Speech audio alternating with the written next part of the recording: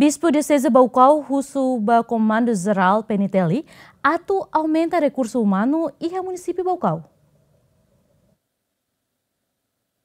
Segunda-feira, né, Comando-Geral PNT e Comissário-Geral Henrique da Costa, assumiu o Bispo Diocese Bocó, Dom Leandro Maria Alves, onde cumprimenta Bispo, no qual íamos com o assunto segurança e arrailaram. E a mutune Dom Leandro Maria Alves agradece a PNT, também membro Polícia Sira, hala ona segurança e a lorong bot natal, no tinam fun dia, mais que menos recurso. Tare dalla Roma acontecimento problema sarna acontece da lida dalla Roma bele hora sanesa ni fat fatin. Neruni polisi siratu halai ba maemos dalla Roma membrula to dalla Roma Transporte måste en susar ne do ni ta ne ta buka tu hare de ne ne komandant general so hin na tu hare mo sbe de ne ho de hare to. Au insama kvele eh, hatamba preocupação serane Comando Geral PNTL, Comissário Geral Henrique da Costa, usuba parte igreja atu transmite mensagem a comunidade no sarane sira atu hadokan husi violência.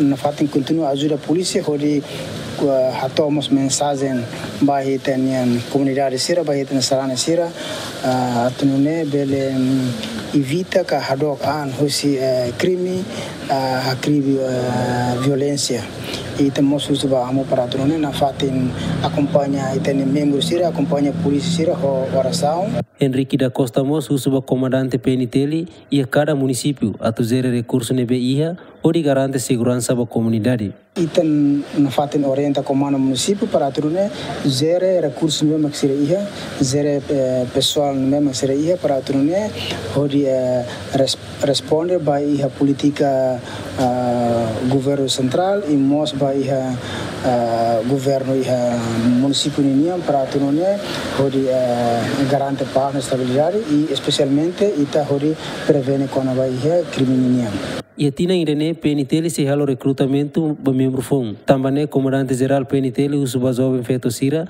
ato preparaan hori concorre para vaga nebe iha. Feliciano Venâncio Belo, GMN.